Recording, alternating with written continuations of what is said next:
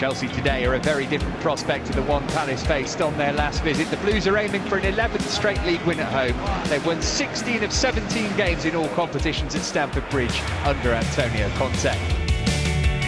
Teasing Joel Ward here, Eden Hazard got it across and turned into the net at the near post for the early opener from Cesc Fabregas.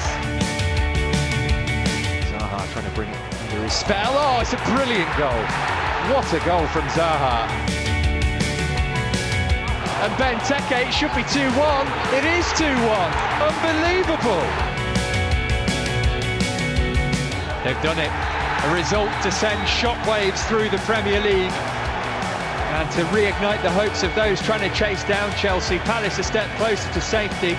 Two quick-fire goals in the first half from Zaha and Benteke have undone the Blues here. Chelsea just couldn't quite get it done today.